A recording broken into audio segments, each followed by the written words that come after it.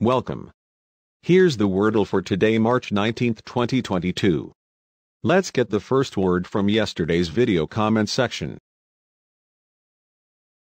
Please comment down again your suggestions for tomorrow's first word guess.